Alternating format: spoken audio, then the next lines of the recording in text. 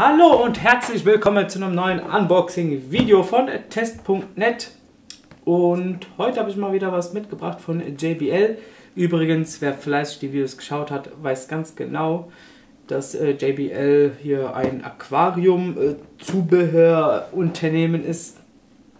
Und das ist das Produkt M503 und das packen wir gemeinsam aus. In dem Paket enthalten ist eine 500 Gramm Mehrweg-Vorratsflasche, ein sicherer Standfuß, ein Imbusschlüssel, weitere äh, Zubehörteile, Magnetventil, Blasenzähler und alles Mögliche.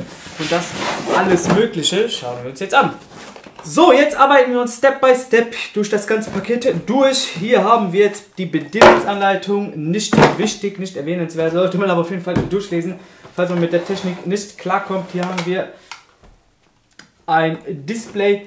Wer, das, äh, wer die anderen äh, Videos geschaut hat, der weiß ganz genau, dass es sich um ein Flora pH Control handelt.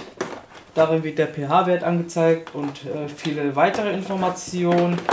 Hier haben wir die Mehrweg-Gasflasche mit einem sicheren Standfuß, der wirklich sicher ist. Sicher.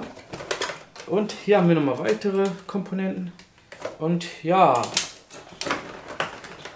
das war's auch schon, meine Damen und Herren.